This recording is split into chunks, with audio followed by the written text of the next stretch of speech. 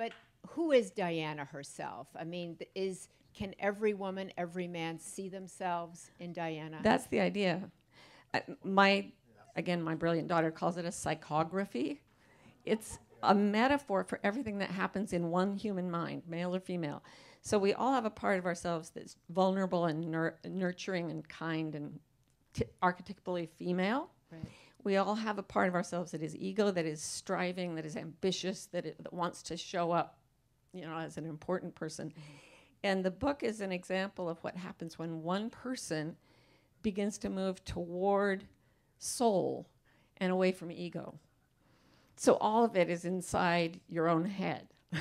And and you talk in the book. Martha talks about what she calls our furies. I have my back over here, which is that that voice inside all of our heads that says you're not enough. Who do you think you are? What are you doing? You're fat. You're old. You're thin. You're gross. Whatever. You you'll They never, never get that you're thin. promotion. They never, never say, say you're thin. They never say you're thin. That's true. Not even to you. They don't even say it to you. Okay, forget it then.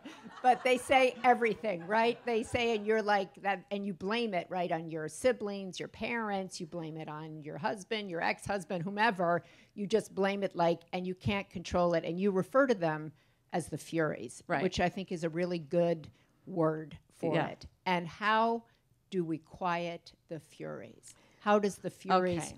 propel her, and how does she learn to manage them? Well, I am going to spoiler alert. I'm I'm going to show. You, she hasn't finished the book, so I hate. Uh, there are all kinds of like surprise twists, as far as I'm concerned.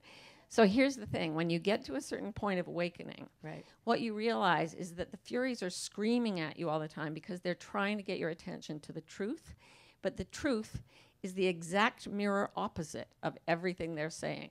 So at a certain point, she wakes up to that, and they they tell her you're nothing, and it turns into her mind into you're everything, and they tell her you're you're an idiot, and it turns into her, in her mind to you're a genius, and instead of the screaming, she hears them begin to sing. So you don't quiet the furies.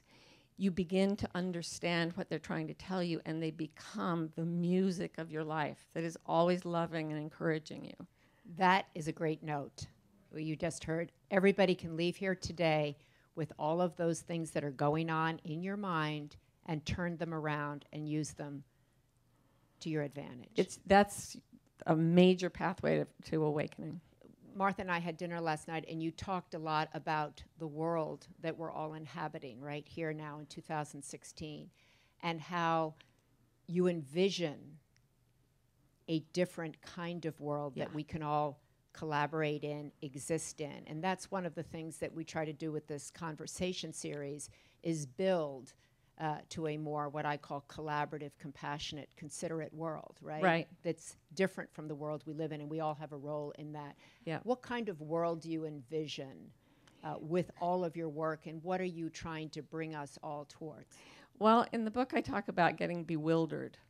Um, the, the task when we leave what torments us is to become bewildered in the sense of, I don't know what's going on.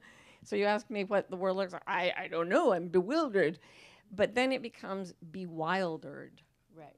So within each of us, there is a part that has been tamed by our parents, by our religions, by our cultures, and it constricts us in some way. In some ways, it's great, and in some ways, it's not. And when we go wild, when we find the part of ourselves that is absolutely true to us and start peeling away all the socialization, then bewilderment changes us into something we cannot imagine. It's like the caterpillar trying to imagine flying. Until you've gone through the transformation, you cannot become the, fly- the thing with wings. And I think our whole culture has reached a point of crisis ecologically, philosophically, and everything.